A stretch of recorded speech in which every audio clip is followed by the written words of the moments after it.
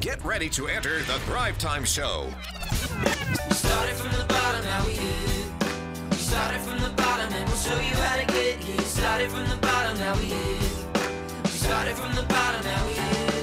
We started from the bottom, now we're on the top, teaching you the systems to get what we got. Cutting Dixon's on the hooks, I break down the books. Z's bringing some wisdom and the good looks. As the father of five, that's why I'm a dive. So if you see my wife and kids, please tell them hi. It's the C and Z up on your radio, and now three, two, one, here we go.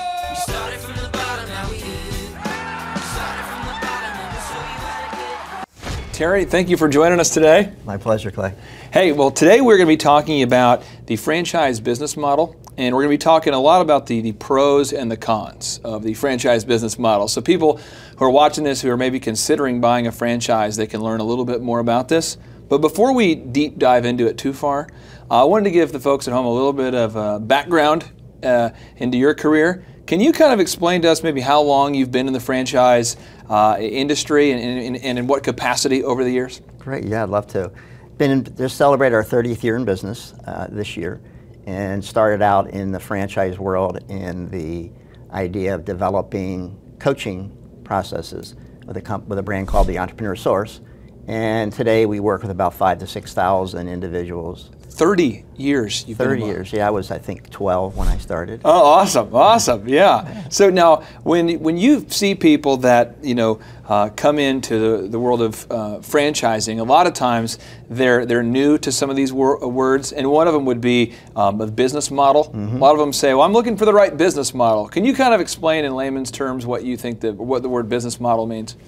Yeah, from a layman's term standpoint, I kind of look at it as the um, the picture on the paint by numbers kit. Um, you know, the model is really putting together all the elements of a turnkey, so that someone can just operate that.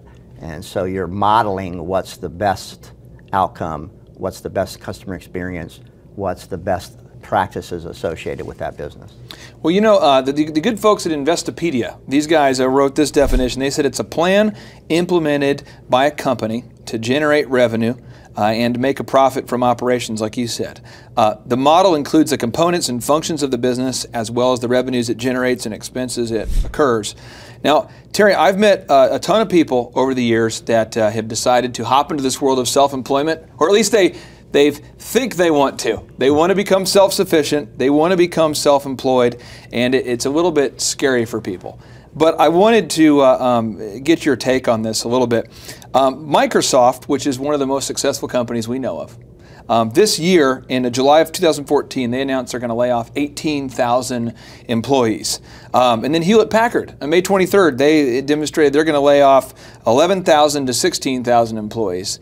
And I think a lot of people watching this are going, I think I want to start a business, but I don't want to leave the security of my corporate job. Do you buy that whole idea that having a corporate job equals security? Do you, do you buy that, or what are your thoughts on that? Well, it's, you know, it depends on your point of perspective on it, but uh, I don't buy that. Uh, haven't for many years. One of the reasons we launched the, the company was to help people become self-sufficient and go from employment to empowerment. But the statistics you just quoted and many others from the, what we call the new normal today, um, how they, uh, they've kind of reallocated the way businesses and companies treat employees really has brought us to what we call the battered career syndrome. Hmm. So yes, employment is still an option for many people. It's always going to be an option for many people. But the culture within most employment relationships has shifted dramatically. So you can't just build a career and stay the track and, and retire like you once did. You might have six or seven different distinctly unrelated career paths that you need to focus on over your career. That's wild. Six to eight different career paths. And I think if you're watching this, um, you know, you so you've thought about starting a franchise, you've thought about buying one. Uh, we, we know what a business model is, and we're saying maybe the franchise business model is for me, maybe it's not. And so we're going to go ahead and hop into the pros and cons of owning a franchise. And so I'm going to read off a pro number one.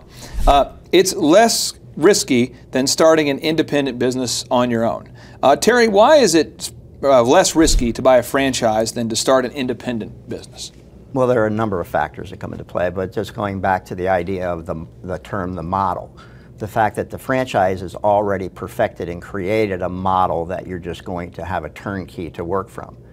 An independent business, you're going to have to start from scratch and develop the learning curves to put that model in place over a number of years. So that in itself means it's a slower, longer track. One of the, I, I went in the other day to get my hair cut at, at Sports Clips. I go in there and I walk in. I was absolutely amazed to see all of the, the it's it's. I mean, there's there's a, there's a print piece. Well, someone had to make that print piece announcing their special. Uh, somebody asks me if I want the MVP. Somebody else asks me if I want this kind of haircut or this kind of service. And the and the decor. I'm sitting on like bleacher seats and the build out.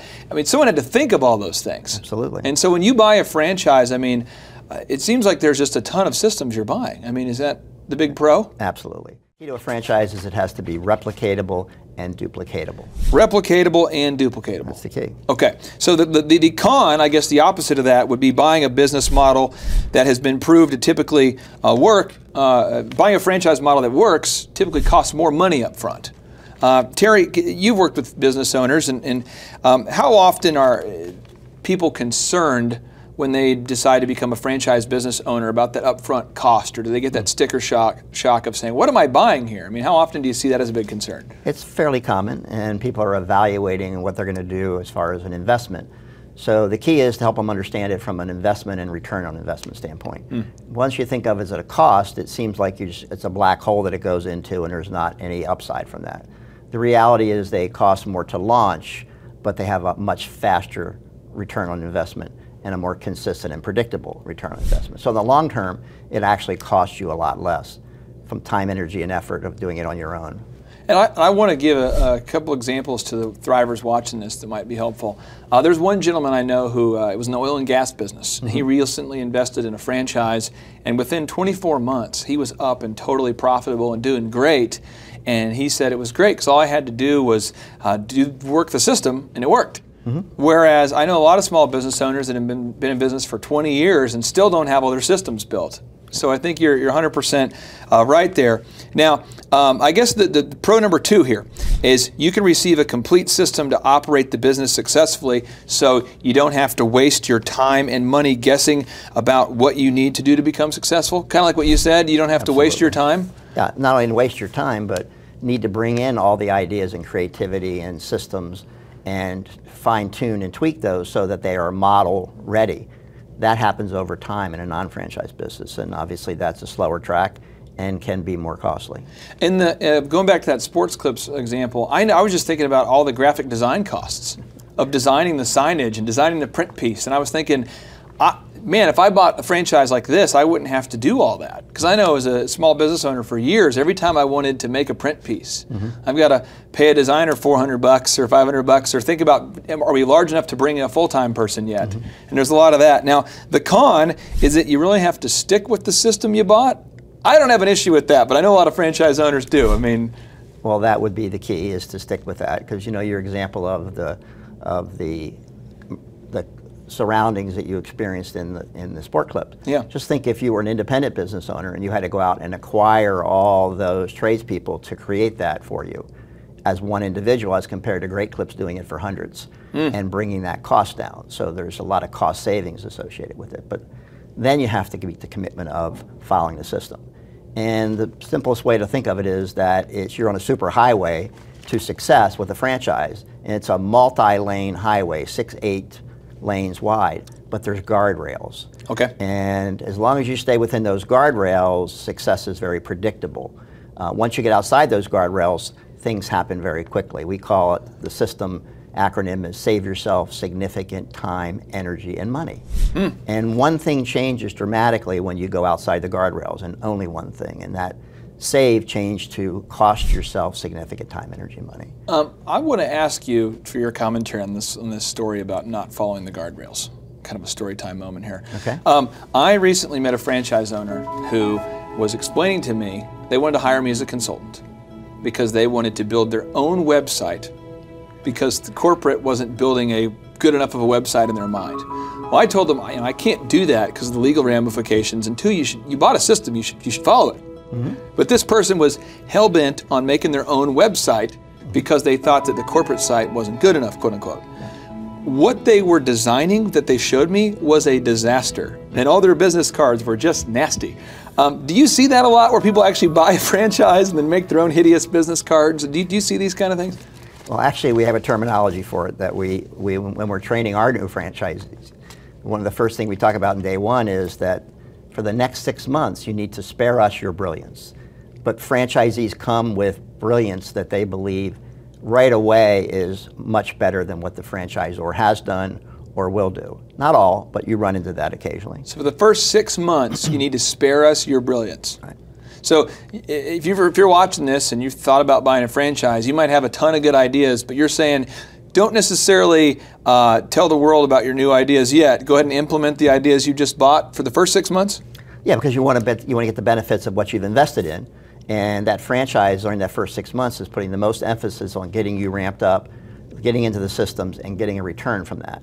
If you start deviating from that and bringing your brilliance from your past winning formula into the new winning formula, it tends to take you off track from the results. Um, now we're moving on to pro number three. And this is you receive all of the benefits and freedom of being self employed, but with a big brand behind you.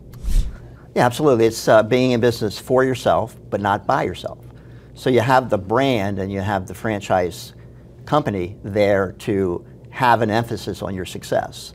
And there's not a franchisor in existence today, nor will there ever be, that can make money without having successful franchisees. Mm. So it's a win-win, interdependent type of relationship. Um, one example I could think of is there's a guy who opened up a Subway uh, restaurant. He was from uh, uh, somewhere in the Middle East, and he bought a Subway uh, franchise right there in a building where I used to do a lot of consulting.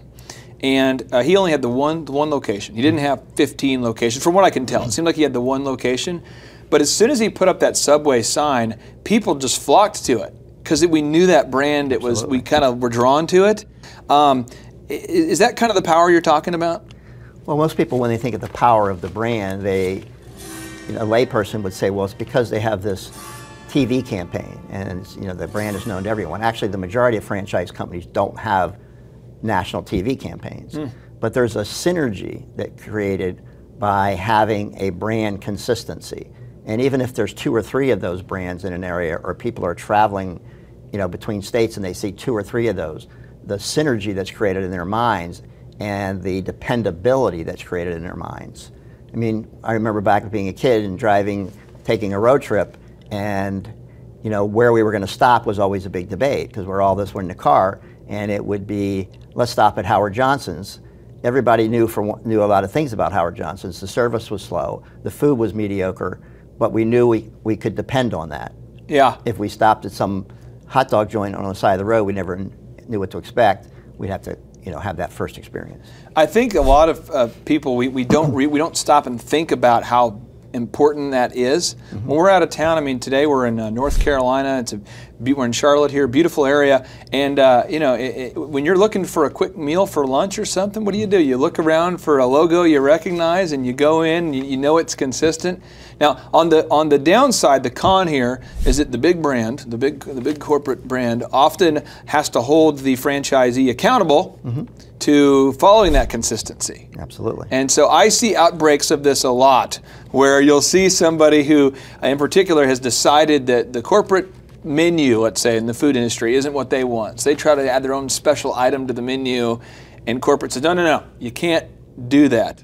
Um, can you talk to me a little bit about why so many self employed people who buy franchises have this desire to tweak the corporate model all the time? What's that all about?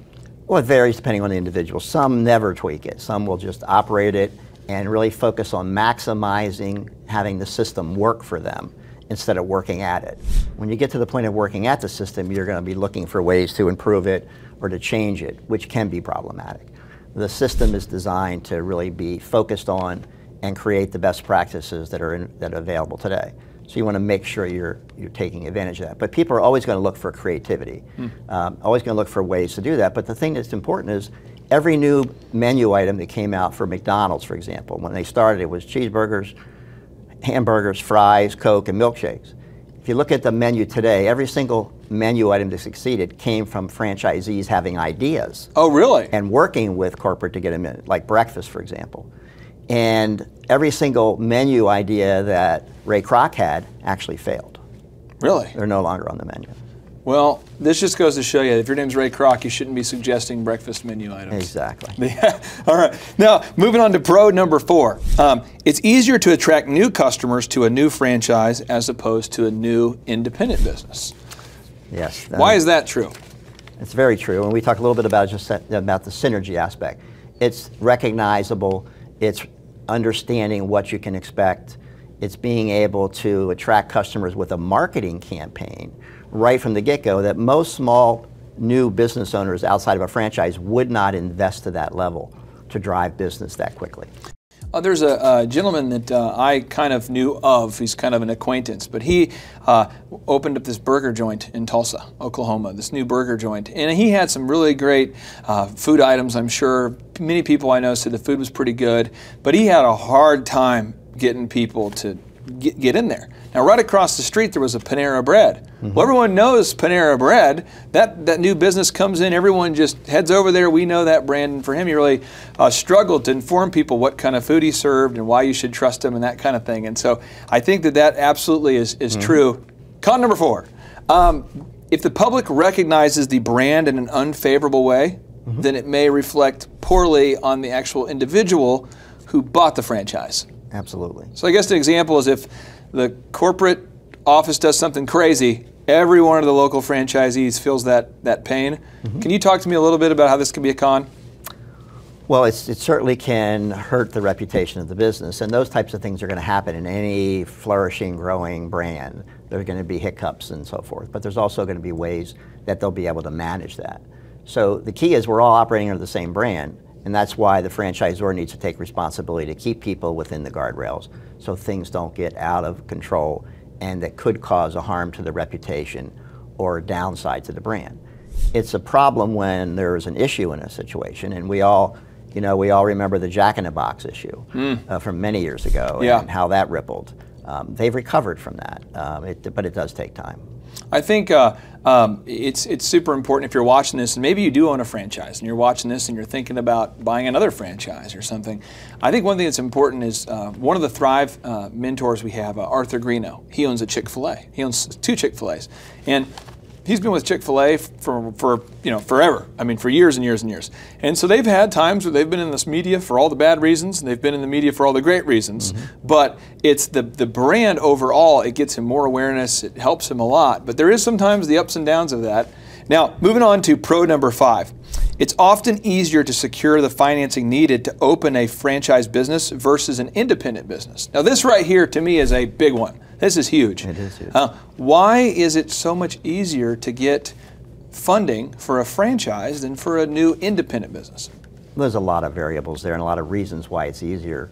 But typically, it's the idea that that franchise concept has built a model that's replicatable and duplicatable. Hmm. That creates a sense of security for the banker or the lending institution.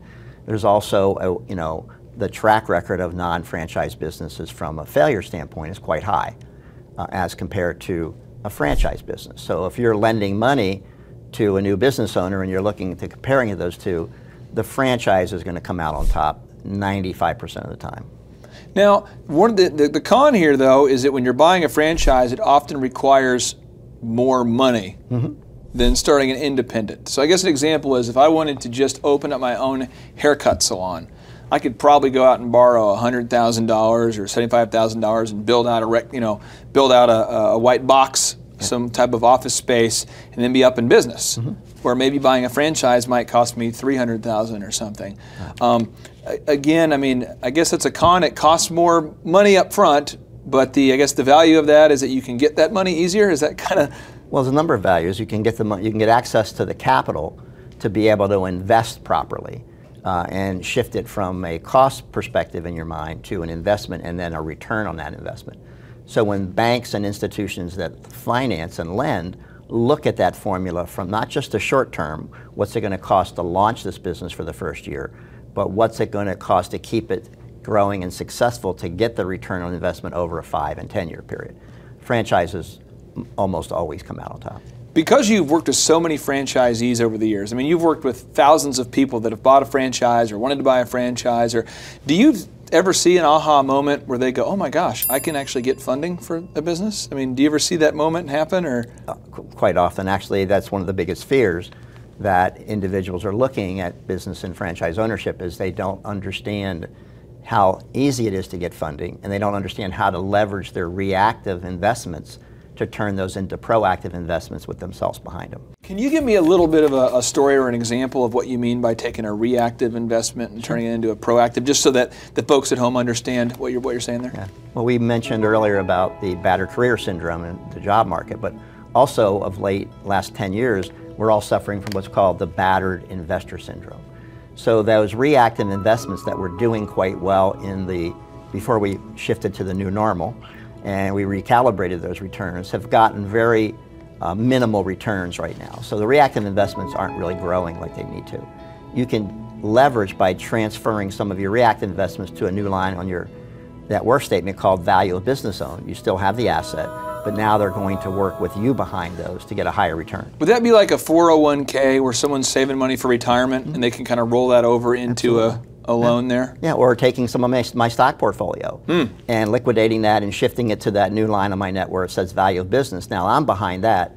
Those other investments, somebody else is really orchestrating whether it's a good or bad return. I really can't impact that. I want to just share this for anybody watching this who's maybe struggling to grasp this, or maybe you're going, gosh, what, what exactly are you talking about? As an example, if we put money into a mutual fund, you and I might make you know 10% a year return on uh, return if it's a good year, 10% return every year. But as a business owner, if you put in $100,000 into a business, a lot of times you can make a 20% return or a 30%. I've seen people double their money, triple their money. Um, it's very hard to do that in the stock market. You can do it, and there is people that do. But when you're betting on yourself, you get that sort of return. You can make a huge return. Absolutely. If you're an aggressive marketer. So it's not, I don't believe it's as risky to invest in yourself as it is to invest in a bunch of companies that you can't control the Absolutely. results there. So um, now moving on to pro number six. Franchisees often uh, receive great training and support. Meaning that if I buy a franchise, I'm getting some great training. What kind of training and support can I get if I'm a, if I'm buying a franchise? It's very extensive, and the reason that's in place is because the franchisor is focused on getting that franchisee and their team ramped up as fast as possible because it's about a return on that franchisor's investment also. At the earliest stages of getting you started, your royalty payments are at their smallest. But the franchisor is giving the most amount of training, support, guidance, and help to get beyond that startup phase so that there's a win-win where the royalty payments grow and then the franchisor can start to recapture some of their, re their returns. And just so I can give an example for the folks at home, let's say that I own a, a franchise, I just bought one, and it does $100,000 a year of gross revenue. Mm -hmm. Typically, what kind of royalties go back to uh, the, the, the, corporate office, to the franchisor? It varies depending on the industry. Okay. Uh, some franchisors provide a lot of back office type of support that that franchisee would have to invest in themselves. So they charge a higher royalty. Okay. Some of the franchisors actually do collection and manage those things for the franchisee, so that would be slightly higher. But anywhere between five to 10% is pretty typical in a franchise system. So just to give an example, if I was bringing in $100,000 a year of gross revenue, mm -hmm. and let's say my royalties to corporate were 5%, corporate makes $5,000. So they have a desire to get me to be as successful as possible quickly, right? So that they can make their they can make more and more royalties. I mean, exactly. it's a win-win. Yeah, it's referred to as an interdependent relationship. The, the, franchisee doesn't work for the franchisor, and the franchisor doesn't work for the for the franchisee. They com come together in this license called an interdependent win-win relationship. I just exactly. love the way that relationship works. That's one of the me one of the big most exciting things about the franchise world is that corporate who sometimes can get a, people might say, well, the guys at corporate don't care. Well, in franchising, the guys at corporate get paid a percentage of what you get paid. So they're trying to push you to be as successful as you, as you can quickly. They're trying to equip you and empower you. I just love that relationship. To me, that's a really neat part of franchising. True win-win. Now, on the con side of that, I guess is it would you would say that um, you really have to have a lot of training from corporate. I mean, they're they're pushing you all the time. Well, it's depending on your desire to excel in that model. Uh, the better franchise, what we call world-class franchisors, have not only initial training, but they have ongoing education and training to continually fine tune the skills of their franchisees, but also bring them back to basics. Because what happens is franchisees get into a rhythm of following the system and it works so well, they stop doing it. Yeah. They get out of sync. So it's a deal where you might feel like, man, corporate's really on me about compliance. Well, they want you to be successful. Mm-hmm. And so I think it's all of us have had a great basketball coach or sports coach or some sort of great teacher. And sometimes they have to push us out of our comfort zone to make sure we're successful. So Absolutely. Some of your best mentors do that all the time. now on the, the pro number seven here, uh, benchmarking opportunities exist within the franchising world. So uh, you can kind of compare yourself with other franchisees. Yeah. Can you explain how that ha- how that works in the in the franchise world? It's one of the greatest examples of how franchise organizations work collaboratively with their, each franchisee rather than competing with each, with each other, they're complementing with each other. And to have your peers sharing successes and being competitive and allowing those benchmarks to be shared, it actually, what we call the rising tide raises all ships. So it creates a synergy for the rest of the franchisees to really aspire to follow those examples. Uh, I know in my career, I started my first businesses was called DJ Connection, and we did wedding entertainment. And I remember when I had, I was doing like one wedding a weekend. I would go meet with some of my competitors, and they didn't want to talk to me. And I, I get it. I don't know why they would, would would want to help me. But then as we grew and we started doing like 30 or 40 weddings a weekend, I didn't really have any other competitors that could relate to me because we were doing so many more weddings than anybody else. And I think in the world of franchising, it's so special that you can actually get on the phone with a franchisee in a different part of the country who doesn't feel threatened by you wanting to pick their brain, and they can help you say, well, this is the kind of results I'm getting. Here's how you can tweak it, or here's the systems we use. Or I think it's a neat thing. Now, on the con side, is that uh, benchmarking can often make the business owner feel like corporate expects some sort of unreasonable result. so, if some guy in Phoenix is just really doing a great job, and you're in Florida saying, man, it, it's hard. And, and sometimes corporate wants you to rise to that level there. And so I think maybe the con that franchisees see sometimes is they feel like they're being held accountable to the maniac franchise who's doing the best. Is that right? Don't hear that terminology often, but Okay. there, there are some examples of that. And some franchisees are going to feel that way because in any franchise system, there's what we call the 20 60 20, the divide of what results franchisees get. So the franchisor doesn't dictate how successful you can drive the model. In fact, that's one of the downsides of being a franchisor is we can't require each franchisee to maximize the results. Mm. They really build it based on their own goals, needs, and expectations and their income, lifestyle, wealth, and equity plan. So the 20 60 20, there'll be a top 20% that are doing three to five times the amount of business. There'll be a bottom 20% that are just getting started or aren't following the system or getting ready to get ready that are on the bottom end of that spectrum. Then you have this wide range in the middle called the 60%. Those 60 and that 20% are all very happy with the results, but they're quite different. So you get to really model the lifestyle that you want from your income, lifestyle, wealth, and equity by how how you build your franchise. And I love that you have that. I've never heard of the, the 20 60 20 outside of um, some of the things I've seen you talk about. It, it, it's, it's, it's so true. Oh, yeah. Because um, you've spoken to countless franchise groups, and I've spoken to several of them as well. And it's interesting, but you'll always get those alphas. They're out there, these men and women they are just performing that top 20%. The middle's just as content as can be. And then you always, it doesn't matter what franchise it is, there's always that 20% who's just upset they're not performing. They're, and it doesn't really. So if you're watching this and you you think about buying a franchise, I really have yet to see an example where everybody's in the top. Every single person's at the top, or there's always the bottom discontent. There's always that top 20%. There's always that 60 in the middle. It's amazing how that happens. It's amazing that you can go through your initial franchise training with a group of 10 or 12 individuals and find out what each individual's income, lifestyle, wealth, and equity goals are and how diverse they'll be. You know, and that's just the beauty of being able to grow and drive your business to the level you desire. Now we're moving on to pro number eight. Pro number eight. So here we go. It's often easier to attract new employees to a small business that is a franchise, where I guess it's easier to convince people that you're not crazy as a, as a startup when you're coming to an established brand. Is that why it's easier potentially? Or? It's very much easier to do that, and employees are looking for, you know, that employer who has their act together and can offer them the assurances of training and being able to have a career path uh, and being able to grow more more predictably. and also typically have a slightly better wage earned from a franchise concept than you may from a non-franchise business. I uh, want to give an example for the people watching this because this is a true story.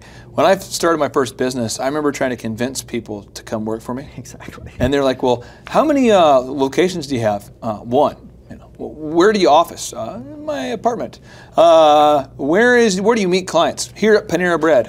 I mean, I didn't have that brand, and if I wish, I, if I would have had that brand, uh, that that the years of history, I could have said, well, you know, our company's been around for 22 years, and we have 400 locations throughout the U.S. or that kind of thing. So, I mean, this this is I, I can just tell you, if you've never started a business, this that's a huge a huge value right there.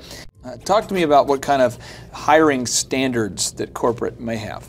Well, there's there's systems on all aspects of a franchise, and and the systems related to hiring are, are there and utilized because they get predictable results.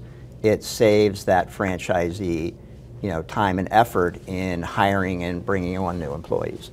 So, you know, the reason systems work so well is because they're predictable. I mean, we could use the example of McDonald's having an employment situation that, you know, if I said to you, would you like a business that has a 300% employee turnover and there are employees in your operation 24 hours a day and typically the ages are teenagers or senior citizens, what do you think? Well, most people would say, why would I bother? But McDonald's has created a system that allows franchisees to succeed with those kinds of variables. Isn't that's amazing? If you're watching this, I mean, that's just one example. But I mean, and you're and you spout that stuff off because you've done this for so long, and to me, it's like a fire hose of knowledge. It's just un, uh, overwhelming. But you're saying something like McDonald's has a 300% turnover, mm-hmm. so they're turning over their whole staff three times a year, and then the other things you said is they have a, a staff of teenage workers. Teenagers or senior citizens and they're and they're in that operation 24 hours a day because when they're not open, there's a team in there cleaning and prepping for the next crew in the morning. So you can't be there 24 hours a day without a system for hiring and managing those employees. That business would never succeed. That blows my mind. That's just amazing. That's amazing.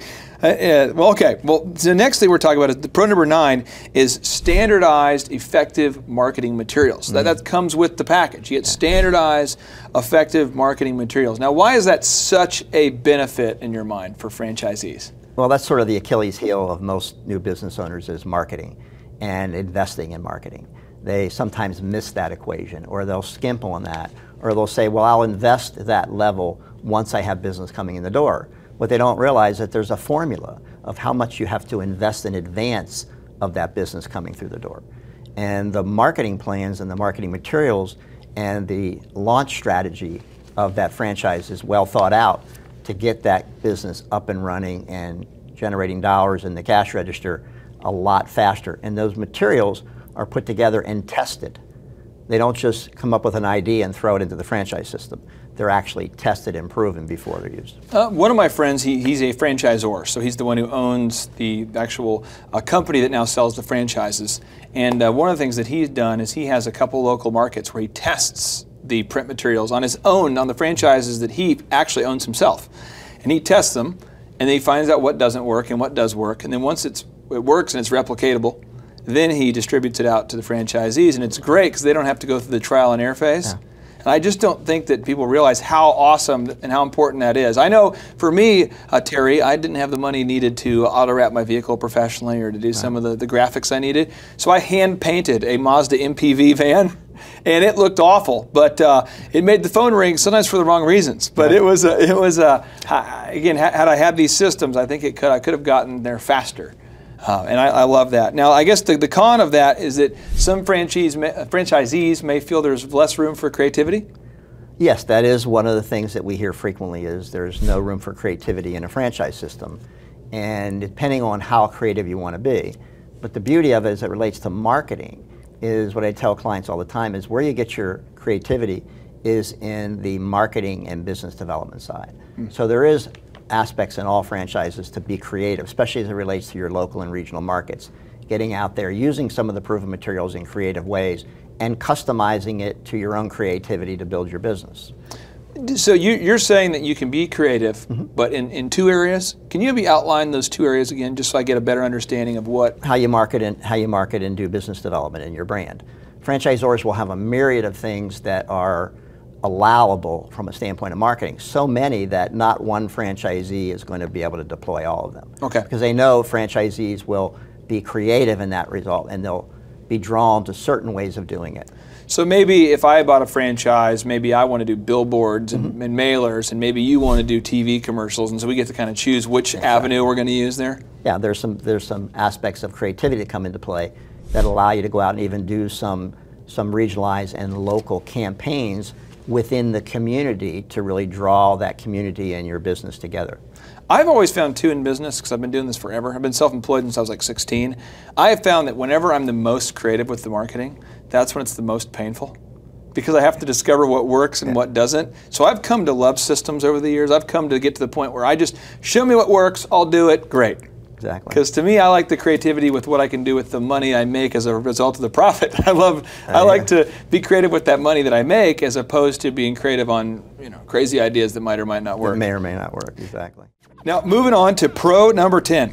It's often easier to sell a franchise business than a non franchised. So, if I've run my business for 10 years and I say, ah, I want to move down to Cancun and sip on margaritas full time, it's easier in theory to sell the franchise. Well, why is it easier to sell a, a franchise business? Great question, yeah. Because the potential buyer is not going to look at the franchise business based on what only you did with it.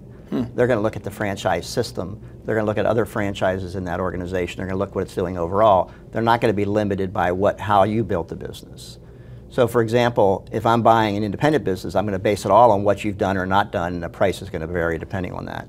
If I haven't deployed on that franchise system to the best of my abilities, and it's underperforming, but the majority or most of them are performing well, the buyer's going to see that as an opportunity, and they're going to be they're going to want to invest in purchasing that business.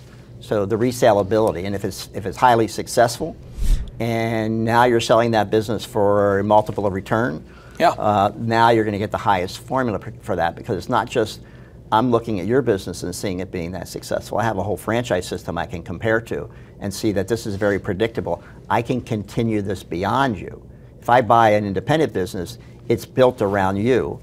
You leave, many times that business will decline. Roughly, how many uh, um, sports clips are there on the planet at this point? Wow, that's a great question. Are there thousands? There's, they're in the thousands now. But I remember when they first started. I don't remember what year it was. I just remember that I think it was. Uh, I think they had a they had an NFL player that was associated with the brand when it first started. I can't remember his name now, but it was a Dallas Cowboy, I think. Mm-hmm. And they just started. I remember seeing them, and and then now there's a ton, and, I, and then that will affect the value of my business. It absolutely. It's, it creates what we call synergy. When people see synergistic results, it creates multipliers that relate to the value of that business. That's why we talk a little bit about income, lifestyle, wealth, and equity that's built by a franchise.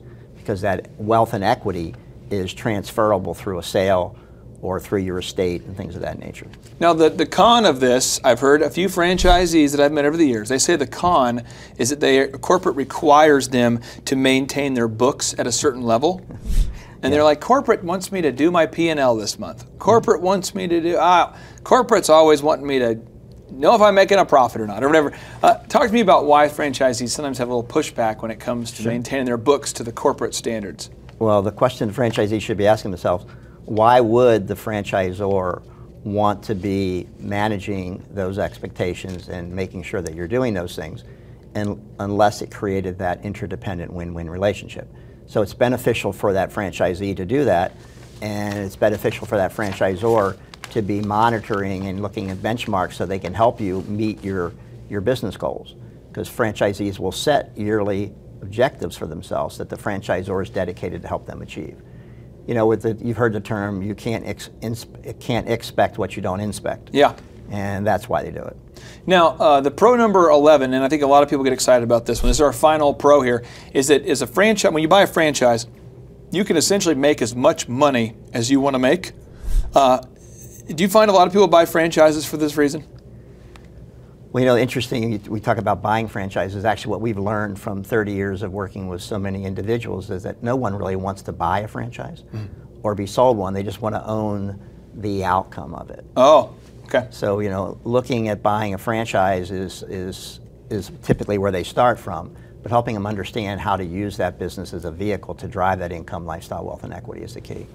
And business model, the word business model, the word business vehicle, they're somewhat interchangeable, but the idea is that you're saying that you're, you're you know you're going to buy this franchise, you're, going to buy a McDonald's, you're going to buy a sports clips, you're going to buy whatever you buy Mm-hmm. to help you get from point A to point B. You're not buying it just because you want to say, look, I own one. That's not the goal in and of itself, right? And, and you're right, the upside in the career path you have is, is really without limits. You know, 52% of every franchise business open today is owned by a multi-unit operator. Really. 52%. And multi-unit meaning that I own more than one franchise? Exactly. And today, uh, not only more than one franchise in, in one brand, but also multiple brands.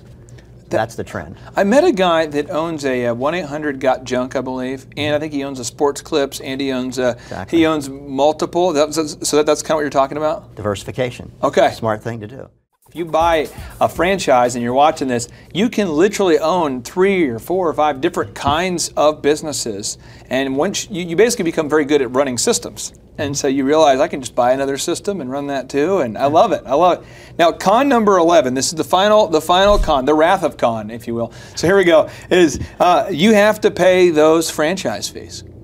And some people feel like that is a terrible thing. Walk me through why some franchisees get a little frustrated with those franchise fees.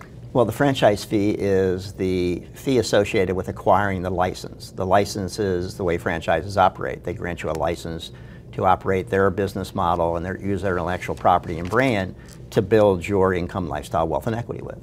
So, you know, they're looking at it from a standpoint of there's a fee associated with acquiring that. Franchisors go to great length to meet the requirements and be able to provide franchises in North America because of the regulations. And the fee is just designed to be able to recapture some of that so they have the opportunity to then work with you on creating dollar revenues in your unit so that the royalty stream becomes the profitability.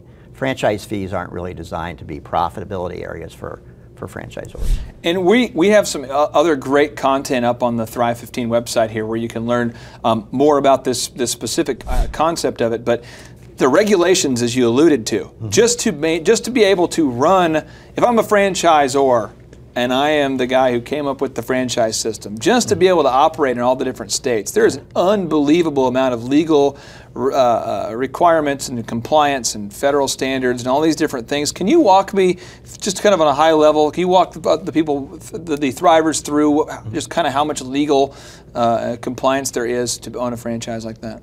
Well, meeting the Federal Trade Commission regulations to be able to offer a franchise is putting together this extensive document that requires you to provide information in the same sequence that every other franchisor does. And some states require you to register those individually, which means you'll have attorneys working on all these elements. And once you have attorneys involved in multiple states, working on very extensive documentation that needs to meet a criteria, there's obviously an investment that needs to be made there, and that's costly. Um, you know, the idea of being able to take a franchise concept and create the beginning stages of an emerging brand just to get it out the door, you've got to invest in the training, you got to invest in the manuals, you got to invest in the personnel ahead of having a franchise come in. So the regulations and the, the costs associated with getting to that point are pretty extensive. But the good news is the Federal Trade Commission regulates offerings of franchises in, our, in, our, in the U.S.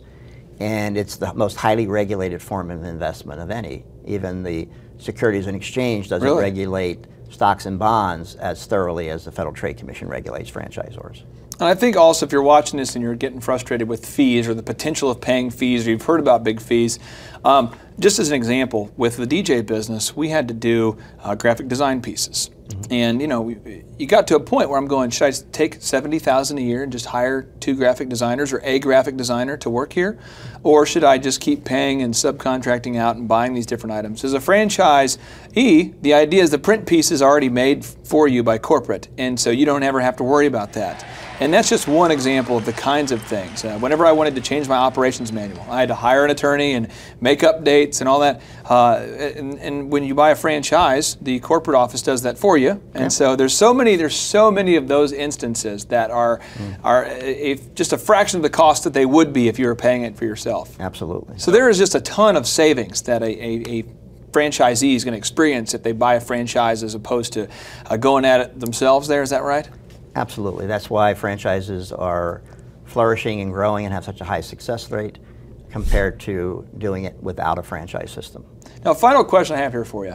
You've been in franchising for, uh, involved in it for the franchise industry for 30 years. Mm-hmm. What are you so passionate about? What keeps you going after all these years? Why are you so passionate about this? Well, the passion comes from a lot of areas. I have always had a passion about um, empowering people to explore their possibilities and to go outside of what their comfort levels are and what their perceptions are because that's really where growth where growth happens. So it's been a passion of mine to to motivate and empower more people to at least explore the options about being self-sufficient. Every 75% of the adult population has a strong to very strong desire to be self-sufficient. But the majority of us are scared to death to be self-employed. And my passion is to just give them a safe space to be able to explore that so they know what their possibilities are rather than just believing as my father did that you just go to work and you stay in that career path and then you retire. That doesn't happen in our society today. Terry, I appreciate you taking a, a time out of your schedule. I know you're super busy. You're always flying all around the country doing great seminars and trainings. And I appreciate you taking time out of your schedule to mentor the, the thrivers all over the world. So, again, thank you so My much pleasure. for your time. I enjoyed it very much. Thanks, Clay. Thank you. All right, JT. So, hypothetically, in your mind, what is the purpose of having a business? Um, to get you to your goals. So it's a vehicle to get you to your destination. And would uh, you need profits to get there? I mean, is, the, is when you have a business that's successful, in your in your mind, in your expert opinion, would you need profits to get your to, your to get you to your to your goals? Yeah, because if you have a fifteen million dollar business, but you have fifteen million dollars of expenses, it's kind of pointless. Holy crap! All right. So the question I would have here for you, if you could take like I don't know, ten minutes or less and see if you could save 3000 bucks a year by reducing your credit card fees, would you do it? Yes, absolutely. Holy crap. Why would somebody out there who's listening right now who has a sane mind, why would they not uh, go to thrivetimeshow.com forward slash credit dash card, thrivetimeshow.com forward slash credit dash card to schedule a 10 minute consultation to see if they can reduce their credit card fees by at least 3000 bucks a year. Why would they not do it? Yeah, why would they not do it? Um, maybe because they didn't understand how you said the website. This tree is a symbol of the spirit of the Griswold family Christmas. No, that's that's clear. Okay, so that, that could be a, that could be true. So I encourage everybody to check out thrivetimeshow.com forward slash credit dash card, thrivetimeshow.com forward slash credit dash card. What would be another reason why someone would not be willing to take 10 minutes to compare rates to see if they could save $3,000 or more on credit card fees? Maybe they think it is a waste of time and that it won't. It's not possible. There's somebody out there that's making more than $3,000 every 10 minutes, and they're like, nah, that's not worth my time. Hello.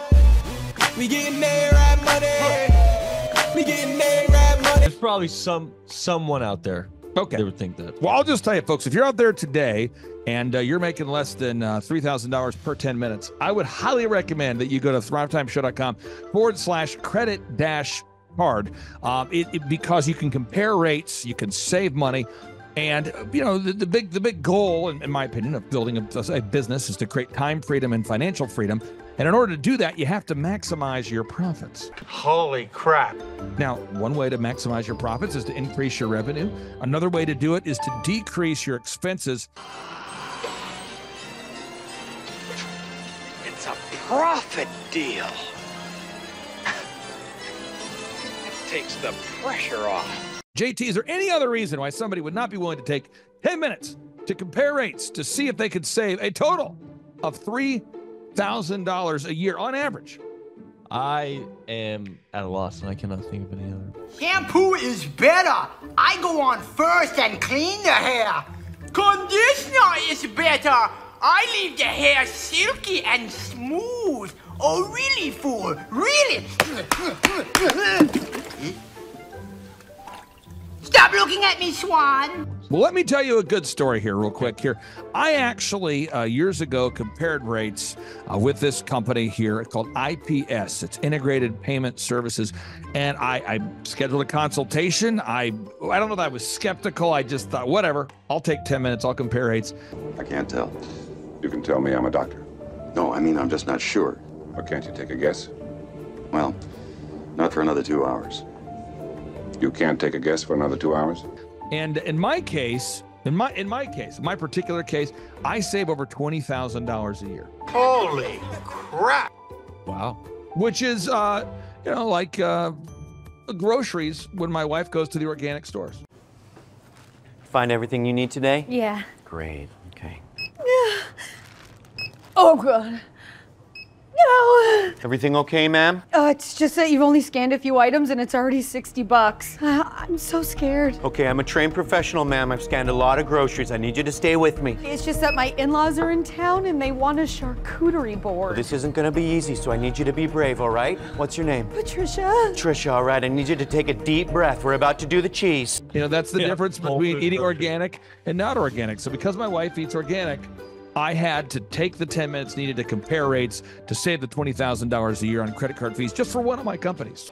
One question, what's the brand name of the clock? The brand name of the clock, Rod. Do we Brand have name it? of the clock. It's an elegant from Ridgeway. It's from Ridgeway. Let's, let's buy. Buy the clock. And sell the fireplace. So I encourage everybody out there, go to thrivetimeshow.com forward slash credit dash card. You schedule a free consultation, request information. A member of our team will call you. They'll schedule a free consultation. It should take you 10 minutes or less. Uh, and they're going to compare rates and see if they can't save you more than $3,000 a year off of your credit card processing. You were hoping what? I wouldn't owe you money at the end of the No, day. you don't owe us money. Because at the end of the day, at the end of the day, uh, the goal of a business is to create time freedom and financial freedom. And in order to do, and in order to do that, you need to create additional profits.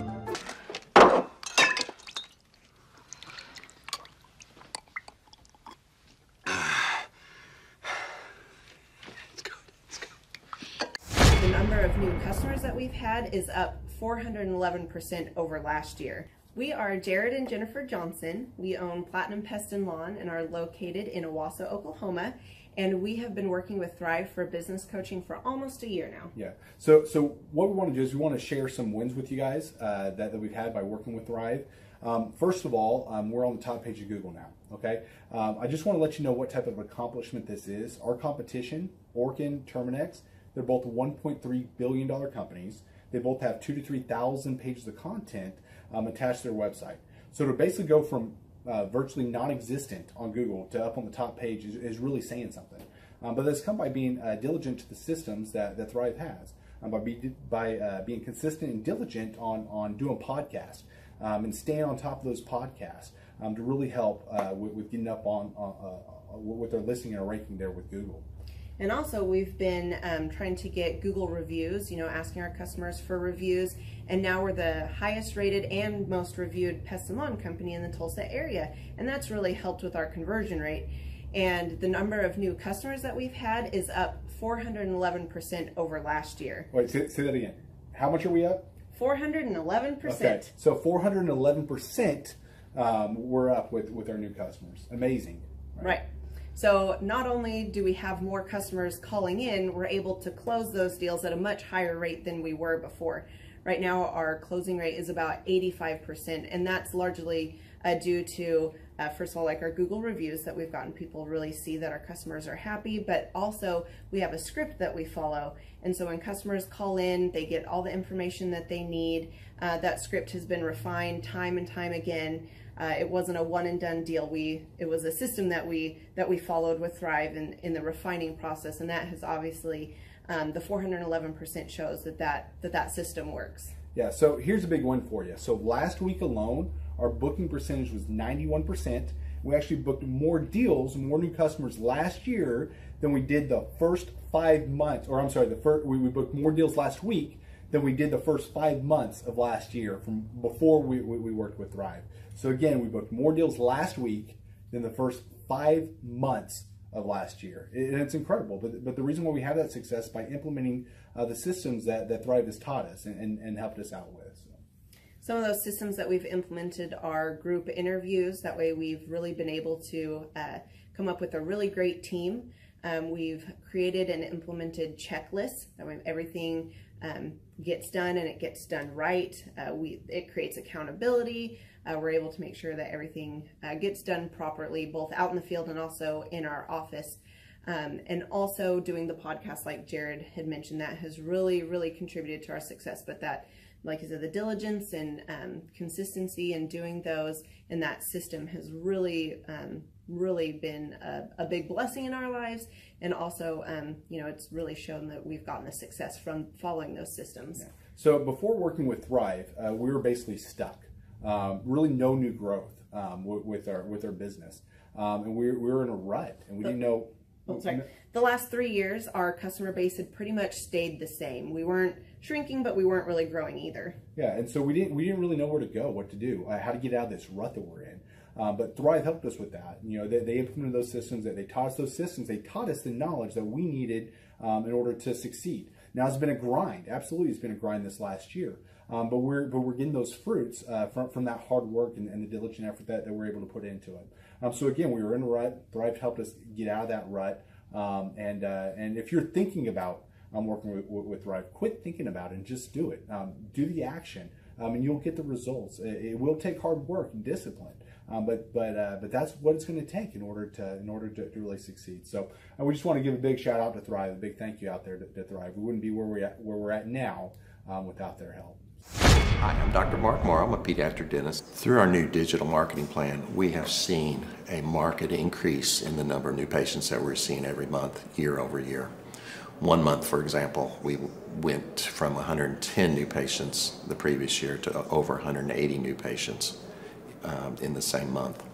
And overall, our average is running about 40 to 42% increase month over month, year over year.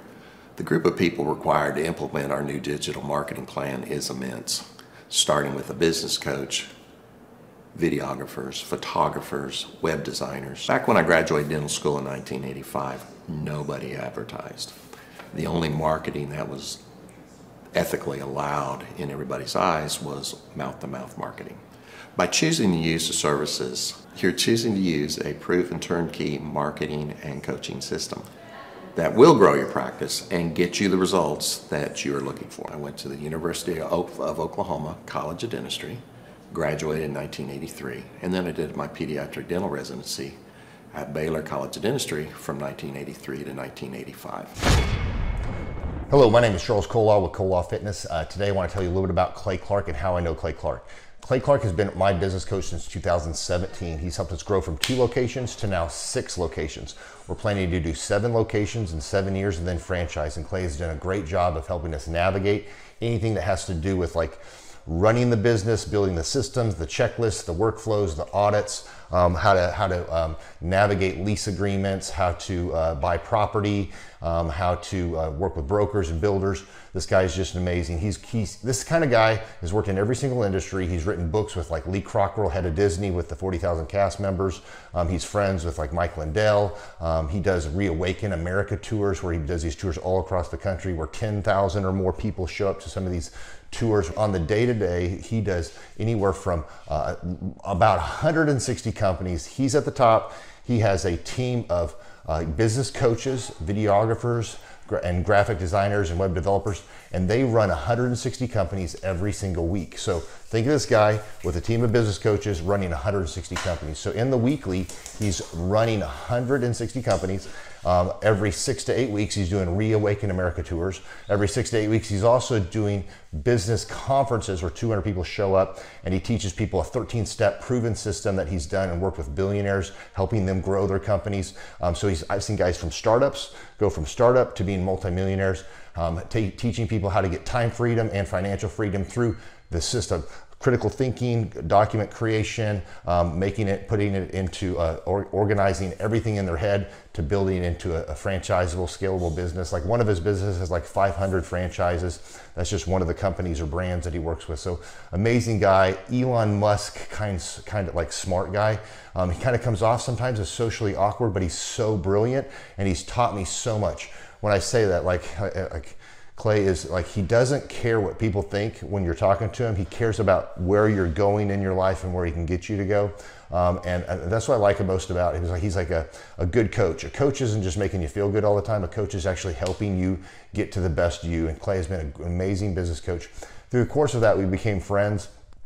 Um, my, I was really most impressed with him is when I was shadowing him one time.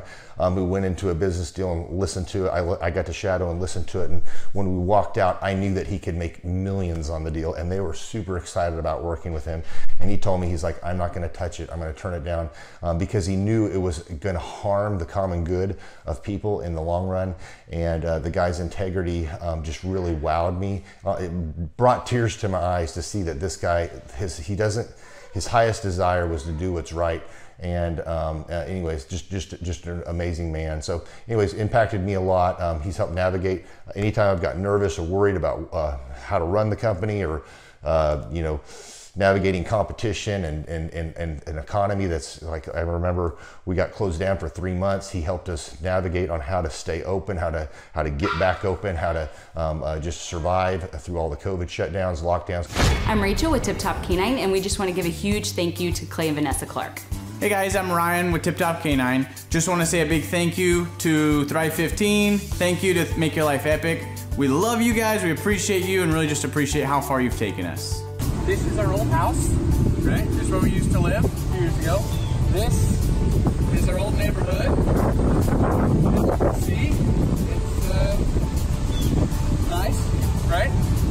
So this is my old van and our old school marketing, and this is our old team. And by team, I mean it's me and another guy. This is our new house with our new neighborhood. This is our new van with our new marketing, and this is our new team. We went from four to 14, and I took this beautiful photo. We worked with several different business coaches in the past, and they were all about helping Ryan sell better and um, just teaching sales, which is awesome, but Ryan is a really great salesman.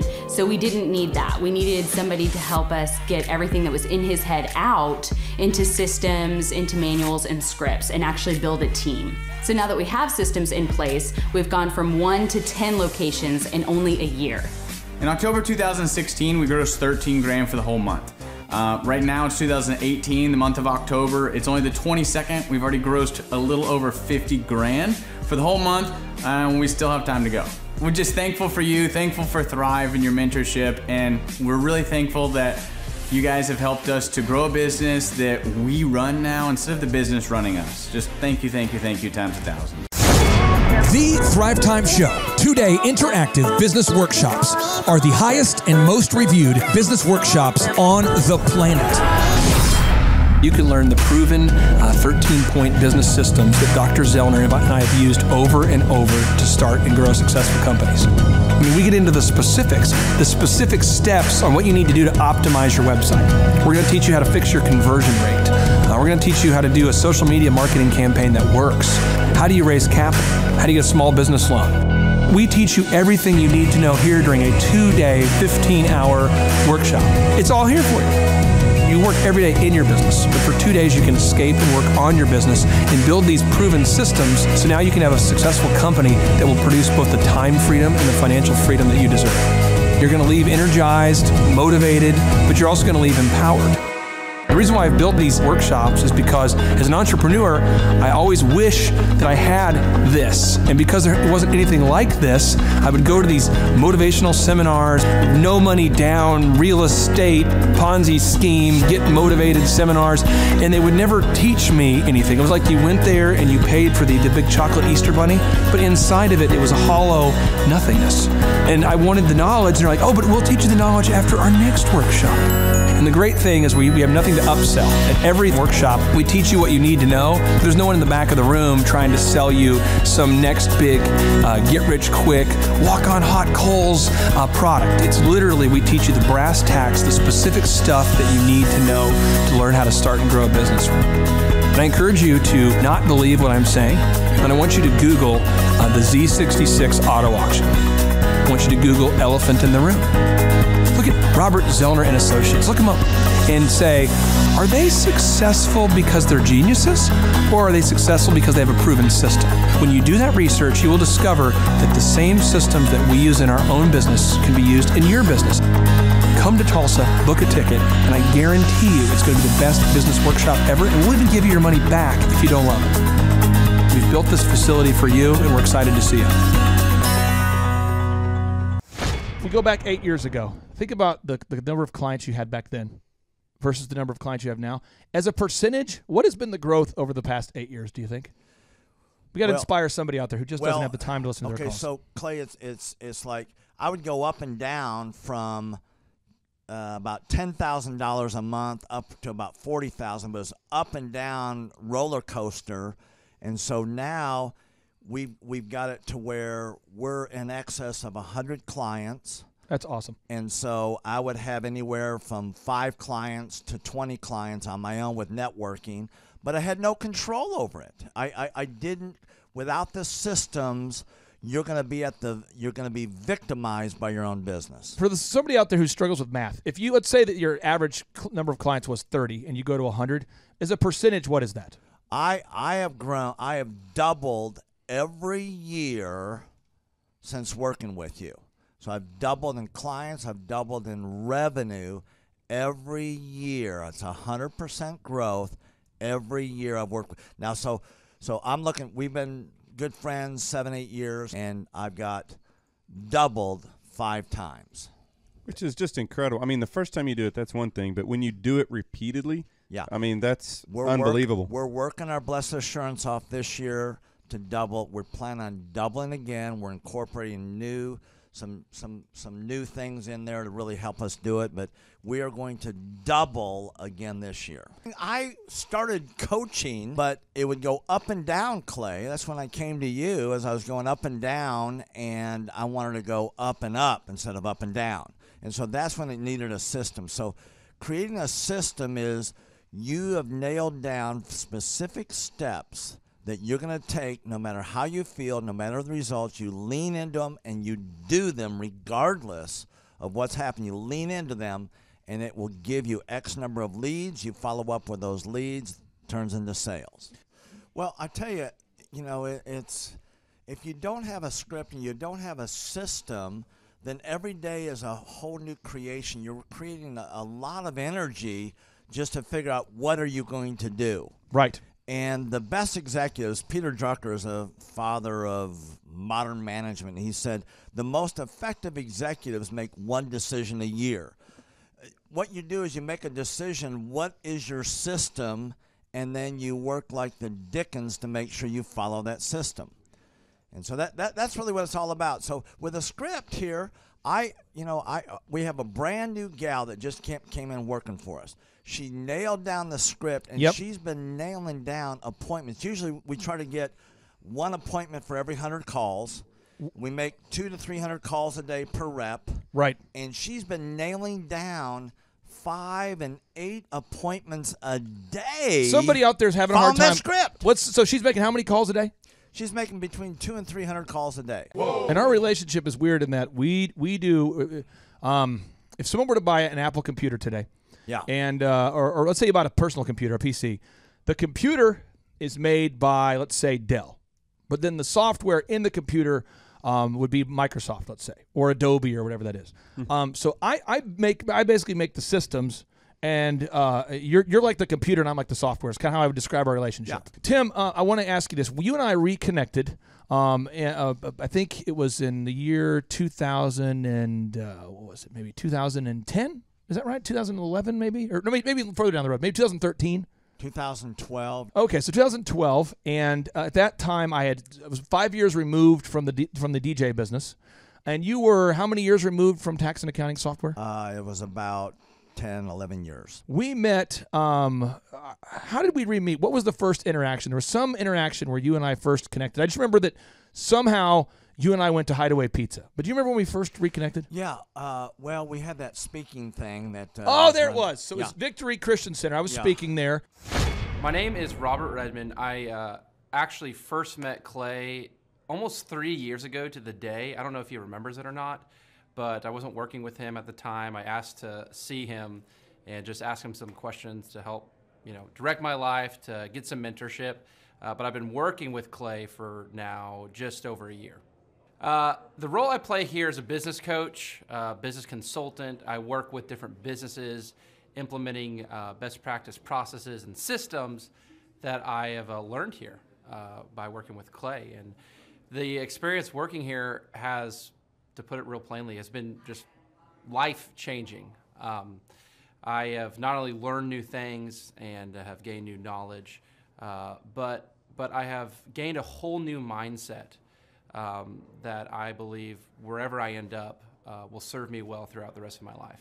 Since working with Clay, uh, I have learned so much. I mean, I would like to say almost everything about about business in terms of the different categories. I haven't learned it all, uh, but I've learned all about marketing. I've learned about advertising. I've learned about branding. I've learned how to create a sales process for organizations in any industry. I've learned how to sell. Uh, I've learned how to create repeatable systems and processes and uh, hold people accountable.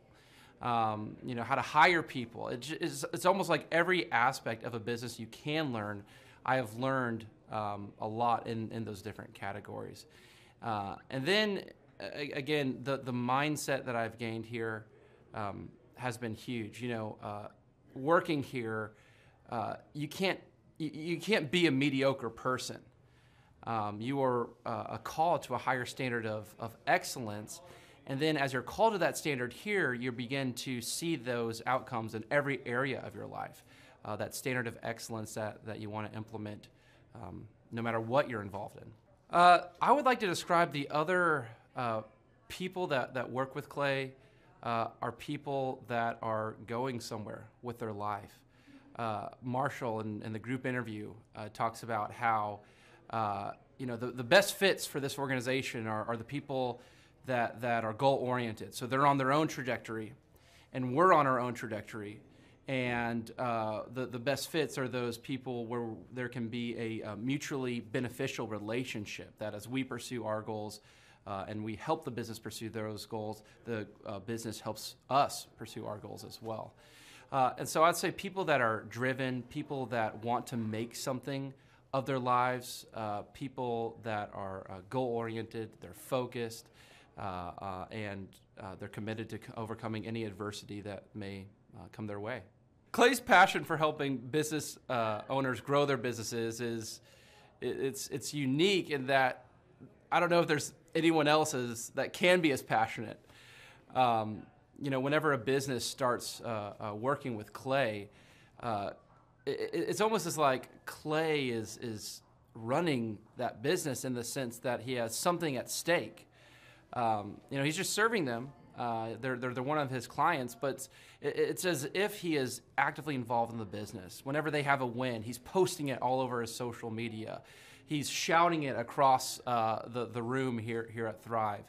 Um, you know, he's uh, sending people encouraging messages. He can kind of be that, that life coach and, and, and business coach in terms of being that uh, a motivator and that champion for uh, people's businesses. It's, it's, it's, again, unique because there's no one else I've seen uh, get so excited about and passionate about other people's businesses. The kind of people that wouldn't like working with Clay are people that are satisfied with, with mediocrity uh, people that uh, want to get through life by just doing enough, by just getting by, uh, people who are not looking to develop themselves, people who are not coachable, people who think that they know it all and they're unwilling to change.